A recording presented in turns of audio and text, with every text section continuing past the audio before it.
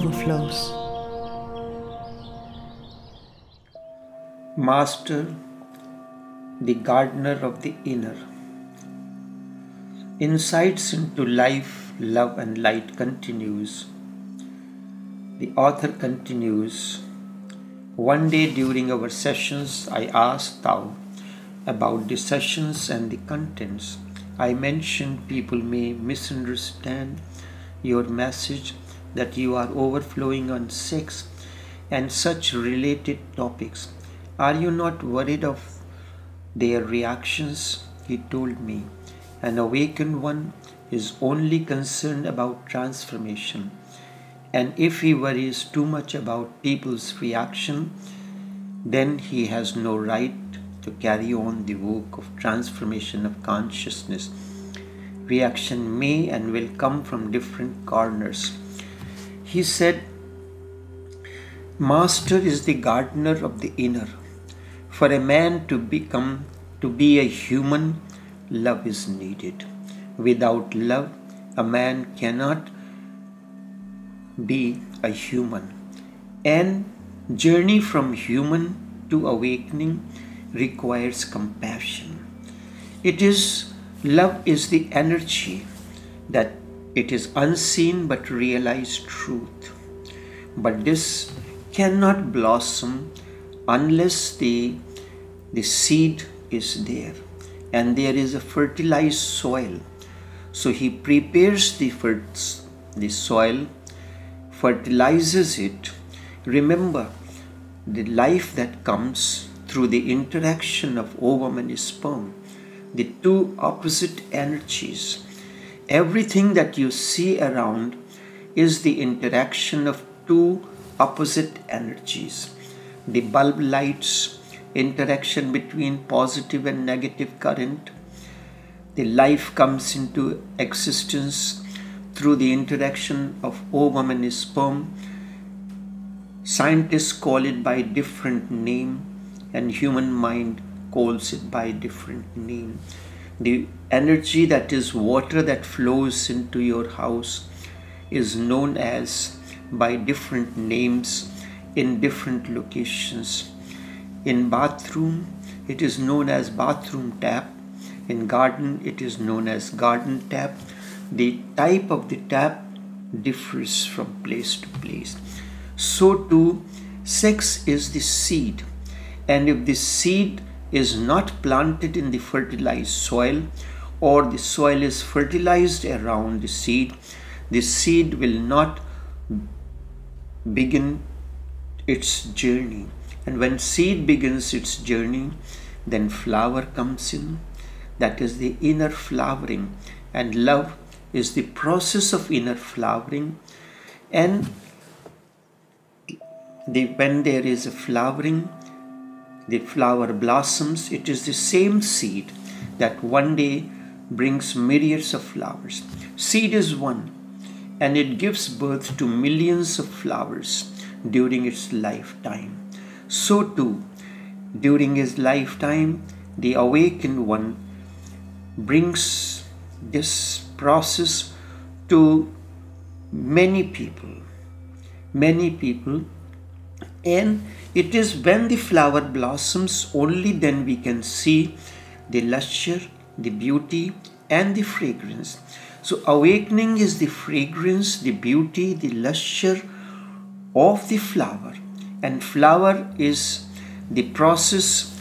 Pro- flower is the next form of the seed that we know as sex. So, in case of life, Sex is the seed. Out of that, when the fertilization, the soil is fertilized, and the gardener takes care of the seed, the entire process in a loving manner, lovingly, then the flowers begin to blossom in infinite quantum. Listening to these talks, you may think that I am interested in sex and or what kind of language I am using. I have spoken on so many topics, almost all the topics, different paths and everything. Why does sex alone interests you? you should ask yourself this question why my talks on sex only interest you, not the talks on Zen masters, not the talks of Nan- on Nanak, not on Bodhidharma, nor on Buddha, nor the Sufi masters. If you think so, then you really have not heard me nor understood me. I am neither against nor in favor of sex. I am in favor of transforming sex. Like a gardener, I am planting the seeds of sex in the mud of your existence so that the seeds that you have so far known as sex may one day blossom into lotus of sex or lotus. This is transformation, neither through suppression nor through condemnation can lotus be grown. If you can transform the seed into a beautiful lotus of awakening, your life will be a benediction. When we say that our is the story of love, but this love that I am speaking of cannot be written with the ordinary ink. In order to write your love messages, you need the pen and the ink. But the love that I am talking about, the love that has capability to transform the inner, is the love. For that we need the water in the eyes. The water in the eyes. There has to be a communion between the tears that flows out of the eyes or they remain unshed and the smile on the face asu or muskan tears and the smile they both are necessary you are the medium to bring light you are the medium to bring light into someone's dark life you start risking your life for the one in need. Your body and consciousness becomes a vehicle to take others on the ride. Like a lighted candle, you can light millions of candles and other candles, yet your own light remains unaffected. You start sharing your life, presence, and being as celebration and the dance of ecstasy. You remember your life is not to conquer the people, rather, conquer their hearts. Your life is not to conquer the people, rather, conquer their hearts. You realize love bridges the two shores, the life and light. Therefore, this title was chosen Life, Love, and Light. Something about Tao also. Tao is a word coined by Chinese master Lao Tse in his book Tao Te Ching. He says that which is meaning existence cannot be put into the verse. Tao refers to that. Just as the word water is not water that can quench your thirst, the Master is the one who has realized this, and by virtue of that realization, now lives such understanding moment to moment. Therefore, he remains a mystery of the unknown, and his message has the capacity to transform the life from a chaotic state to a cosmic state. Now, the work life, love, and light, a journey of transcendence with my Master, is in your hands. I am sure it will help you as it did to me.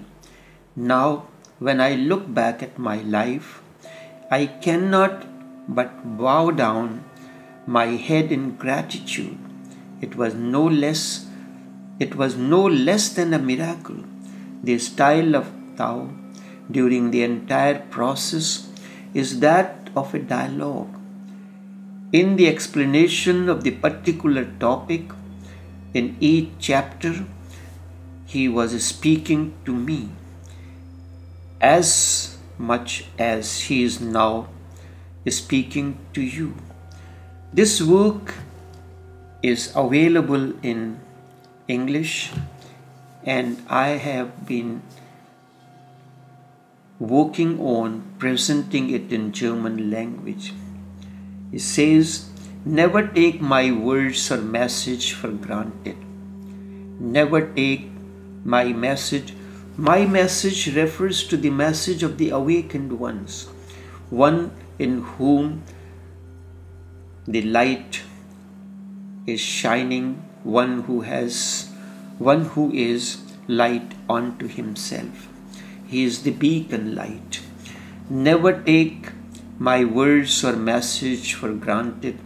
My message is the seed that you have to plant in the fertilized soil of your heart.